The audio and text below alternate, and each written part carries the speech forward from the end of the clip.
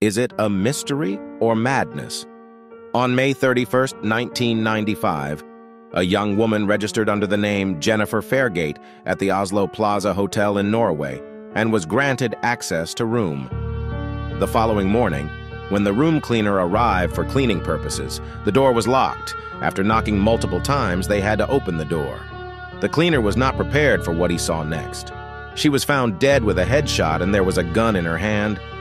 Everyone believes it's a suicide, but the autopsy report shocked everyone.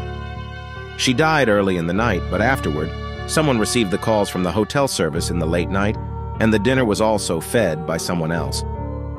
Upon investigation, it was also discovered that no woman existed with the registered name.